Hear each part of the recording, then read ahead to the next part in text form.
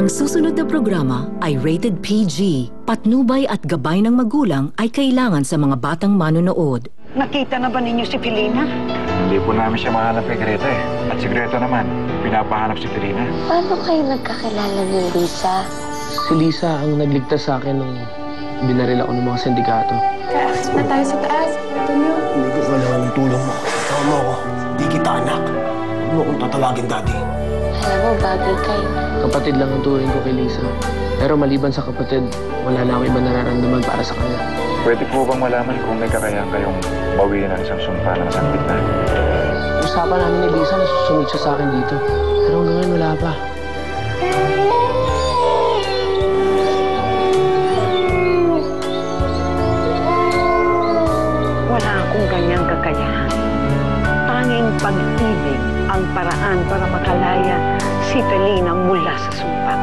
Lisa, taong lobo ka.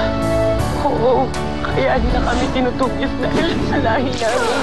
Pumapayag na ako. Pumapayag na ako kumapos sa inyo. Maraming pagkakataon na pinatay mo sana ako. Pero bakit di mo ako sinaktan? Alam niya na yung ulo ko para sa akin. Ang unang nagpatibok ng puso ko. Kaya nakikiusap ako sa'yo. Huwag mong iwan na. Ayoko mag-isa.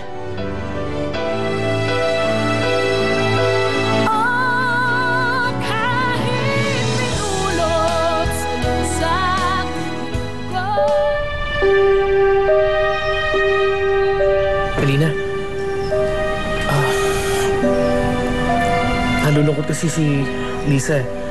Naalala niya yung mga magulang niya. Kaya kinakalma ko lang. Kaya niyakap ko.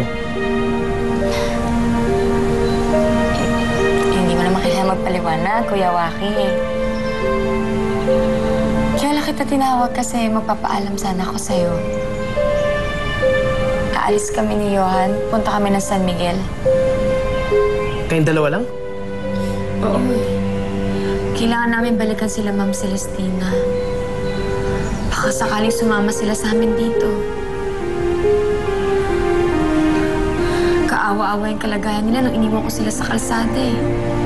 Sige, mag-ingat kayo.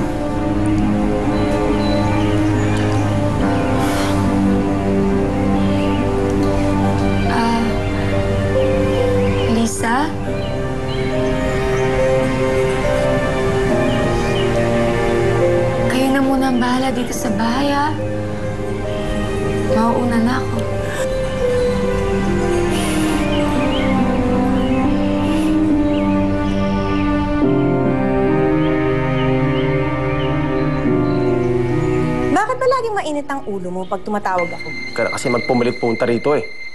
Hindi ako pupunta dyan.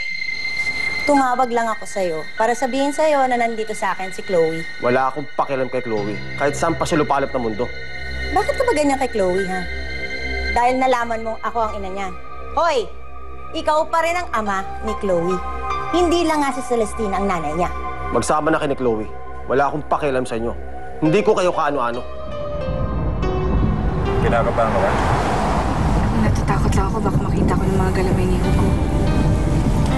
Ayaw mo kasi pumayag na ako na lang mag-isa ang maghanap. Emilio, nakakainip mag-isa sa perya. Alam ko. Konti na lang. Mabubuo na ang buong pamilya natin. Hoy, Hugo. Hindi pa rin ba pumapasok dyan sa kokote mo na hindi ka babalikan ni Celestina, ha? Ha? Si Emilio ang mahal niya. Si Emilio, hindi ikaw. Makukuha ko si Celestina. Yan ang tatandaan mo. Ganon, ha? Sige. Bawiin mo si Celestina. Di rin naman yan tatagal sa buhay. Alam mo kanina, nung nagpaalam tayo kay Kuya Waki, nakita ko umiiyak si Lisa. Bakit umiiyak si Lisa? Sabi niya, naalala daw niya yung mga magulang niya. Pansin ko, iba yung pag-aasikaso ni Kuya Waki kay Lisa, eh, na?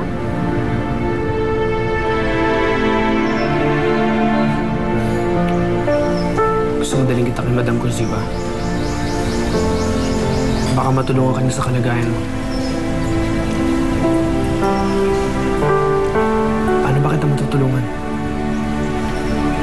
Naman ang paraan kung gusto mo talaga akong tulungan eh. Joaquin, alam mo kung anong nararamdaman ko para sa'yo. Tawarin mo ako pero Pero ano, hindi mo ako matutulungan.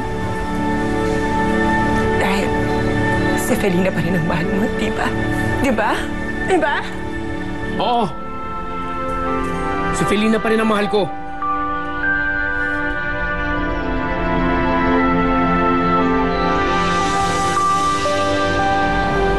Malaki kasi ang utang na loob niya kay Lisa.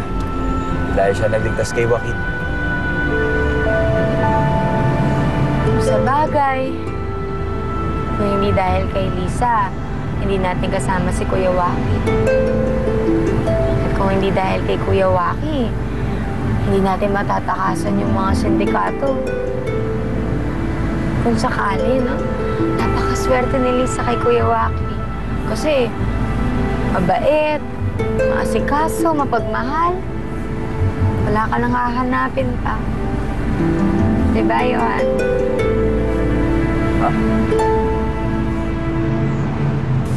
Oh, hindi ka nagluto ng lunch? Ikaw naman, nakikialam ka na naman eh. Kasungit na yung matandang to. How did I get into this mess? Bad mood? Eh, nakakairita ang tatay nito. Nagmamatigas siya na hindi niya anak ito. Paano niya nakakaya to? For 17 years, ako ang kinikilala niyang anak. Hindi siya perfect, pero naging mabuti naman siyang ama eh.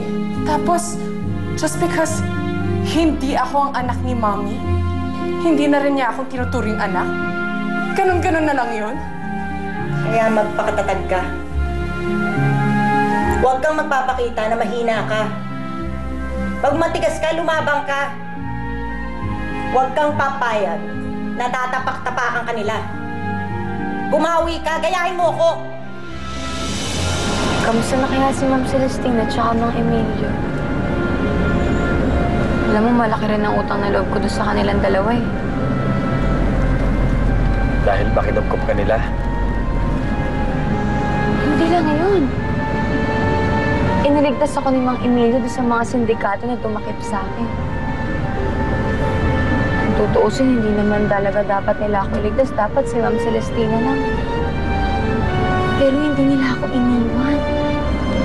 Saka alam mo dati, kahit na wala silang pera, hindi sila naging madamot sa akin. Kinupkup nila ako, tsaka pinakain. Tinuring nila ako parang isang tunay na nilang anak. Napakabait talaga nila. Di ba? Diyan sila tumira dati, oh. Saan? Hinto mo na lang dyan sa tabi.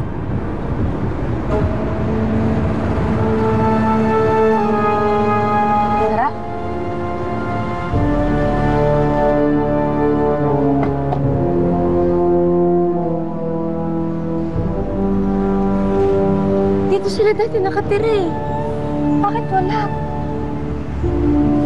Ano bang dapat kong gawin? Maganda ka sana, Chloe. Di ba, magkakampi tayo? Di ba, gagawa tayo ng plano, babawian natin sila. Kukunin natin sa kanila kung anong dapat sa atin. Pag makuha natin si Felina at mamatay siya, nasa atin ang huling halakhak. Dahil lahat sila, mababawian natin. Baka naman umalis na sila. Baka hindi na sila dito nakatira. Baka nangupahan na yung mga yun. Sandali. Magtanong-tanong kaya tayo. Sige. Manong, pwede ho ba magtanong? Ah, may napansin ho ba kayong lalaki tsaka babae na nakatira dito? Emilio po tsaka Celestina yung pangalan. Sige po, salamat po. Manong, Manong, sandali. Ah, ito po, oh. Merienda po. Pagpasensyahan niyo na po yan, ha? Maraming salamat po. Sige po, mag-ingat kayo. Magsisimula na tayo. Buti naman, kanina pa ako nag-aantay.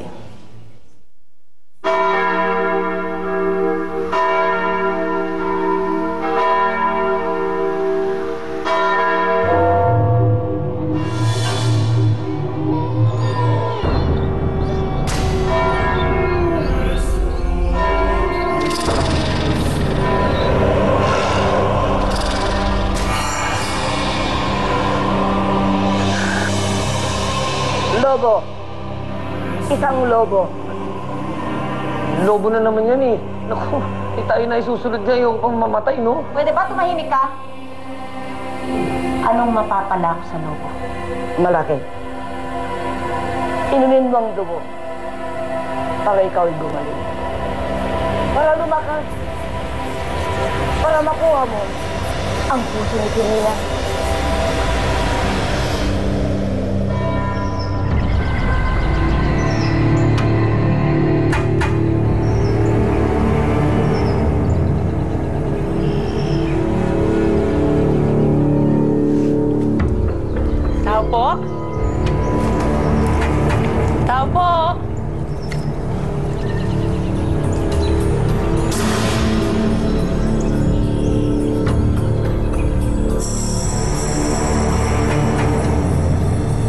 Saan ko na lang may kita yung lobong yan? San Isidro. At, At ano? si Selena. San Isidro.